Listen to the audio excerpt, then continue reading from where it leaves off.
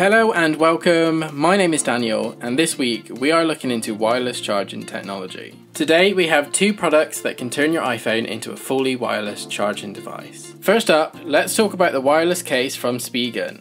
The case comes in black with a gunmetal backing, which looks super stylish around your iPhone. The case fully protects your iPhone with an air cushioning technology with dual layer protection, protecting your iPhone from drops and general everyday bumps and scratches. The case has a fully integrated wireless charging receiver, which works with all QI wireless charging pads and docks, which makes charging your iPhone super easy and quick.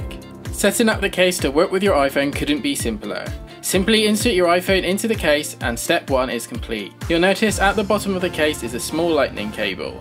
This simply slots into the lightning port and your case is now set up with any QI charging devices. If you decide you want to charge your device via a standard lightning cable, you can easily pull out the small cable from the bottom and you're back to normal without having to take your iPhone out the case.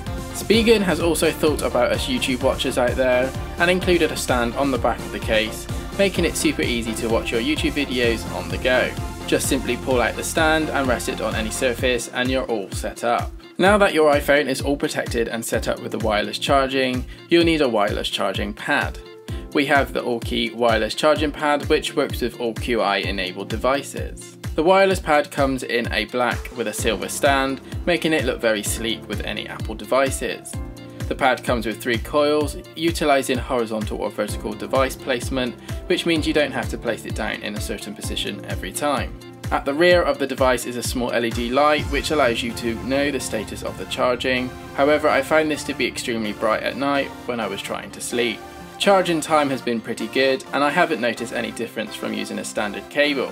However, I do have mine plugged into an Anker 60 watt Power IQ USB hub, which applies the fastest possible charge time. If you'd like me to review the Anker USB hub, then do let me know in the comments below.